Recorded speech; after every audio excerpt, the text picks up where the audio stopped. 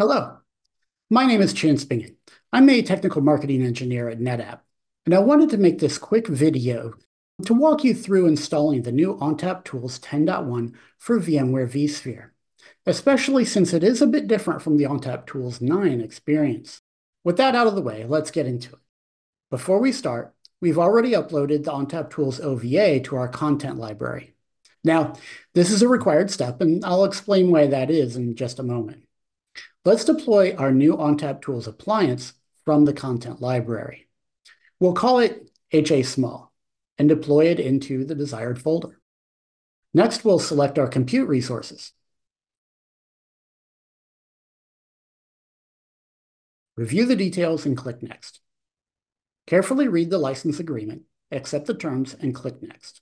Here, we'll choose the type of configuration we plan to deploy. As you might have guessed, we're going with HA Small for the demo. Click Next. Select the data store and click Next again. On the Select Networks page, we need to select a VM port group that has access to ONTAP data LIFs, where we will store the persistent configuration data.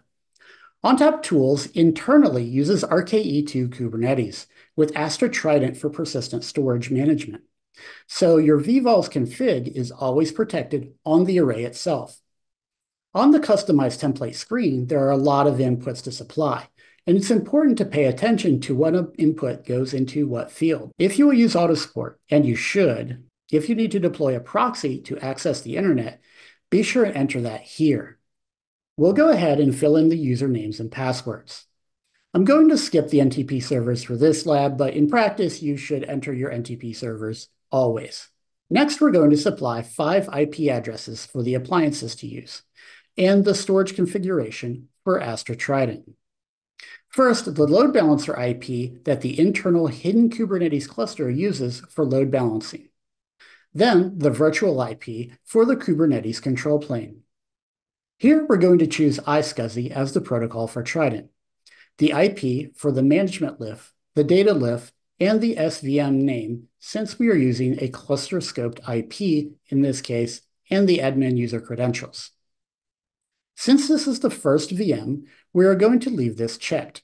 And next, give the content library name.